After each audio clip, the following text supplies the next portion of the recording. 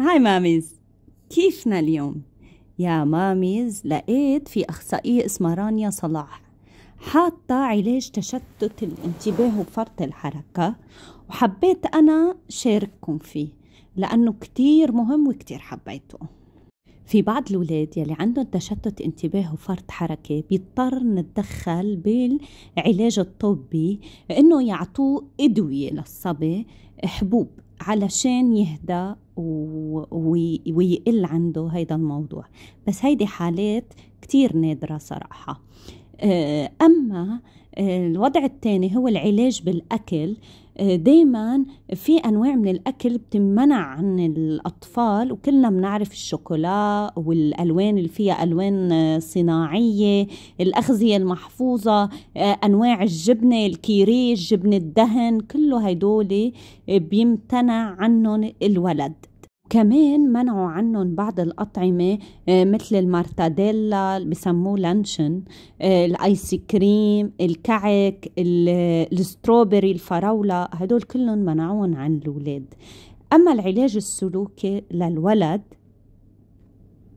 أهم شيء بهيدي المرحلة إنه نحن نحط قواعد للبيت ويعرف الولد وتكون محددة بالنسبة له يعني نعرف إمتى بدنا نحضر تلفزيون ساعات الكمبيوتر كم ساعة لما بدنا نظهر شو بدنا نعمل بالظهرة وتكون قواعد محددة ويكون الولد عارفها وحافظها ونحن ماشيين عليها بالضبط.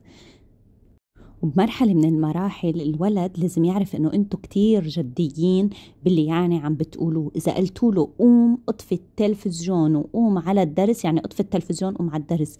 ما في اطفي التلفزيون. طيب يلا خمس دقايق وبتطفي التلفزيون. آه طيب يلا معلش بتركك كمان وهو بيعترض. لا قلنا اطفي التلفزيون معناتها اطفي التلفزيون. لازم نكون حازمين بيلي عم نقوله ويعرف الولد إنه نحن جديين كتير. لازم نحط جدول للأنشطة. لما نطلب من الولد إنه يقوم بمهمات معينة لازم أول شي ببلش يعترض ويصرخ وكل شي بس نحن لازم نضلنا مستمرين على موقفنا ونتعامل معه بهدوء بلا عصبية بلا ما نعيط بلا ما نزعق وبلا تهديد. وأهم شي ما نرشي إنه إذا عملت كذا نحن حنعمل لك كذا. لا.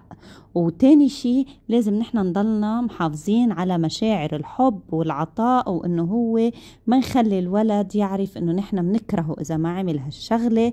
ومثل دايما ما بقول احكي مع الولد ودايما شاركه بآرائه أما تنمية المهارات بالمدرسة لازم يكون الفصل الدراسي مخصص على أنه يحبب الولد بالصف ولازم يكون مكان الولد آه، بعيد عن الضجة وما يشتت له انتباهه وما يشتت له بصره ويخليه يتطلع بكل مكان.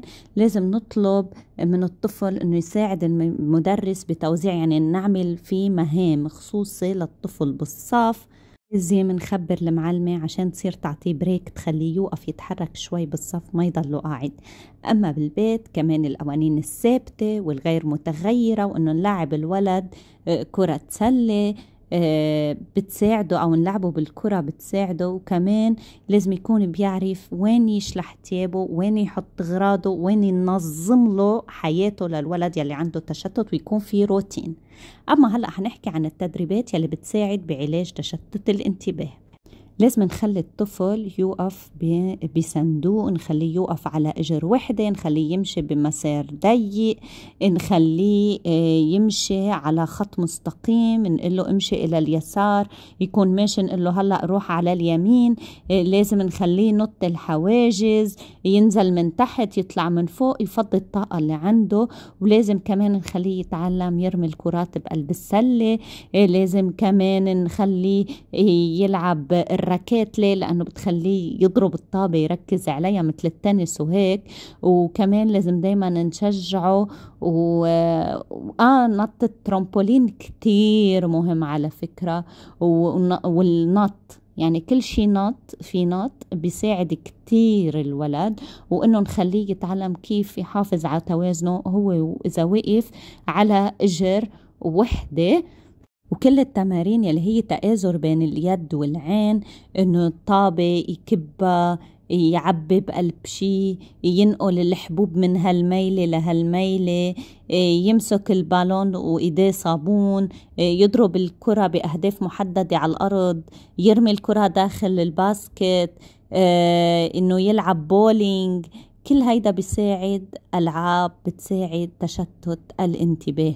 أما المهارات الحركية الدقيقة آه، هي مثل يفتح الحنفية ويسكرها يلف أكياس الحبوب المربوطة لعب بالتركيب بالبلايدو بالبازل آه، كمان آه، القلم الكتابة يفك البرغي يركب برغي كيف يستعمل المقص. كل هول بتساعده على المهارات الحركية الدقيقة تاعيته. وهلا رح نحكي عن الأنشطة يلي بتساعده عن التركيز مثل إنه ينقط مثل إنه يفض ينقط شمع بقلب المي ينقط شمع بقلب الورقة ينقط يلون الرسمة بالنقط آه، يعني كل شيء خاصه بالتنقيط بيساعد الولد.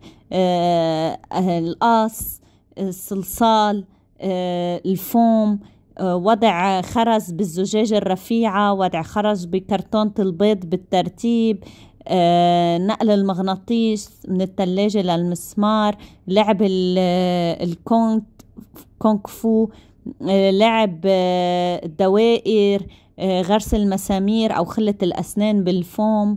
على وضع معين بنرسم شيء معين بنخليه يشكل الكردون بقلبه. آه، في كتير ألعاب ممكن تساعدنا على أنه نحسن مستوى التركيز عند الولد.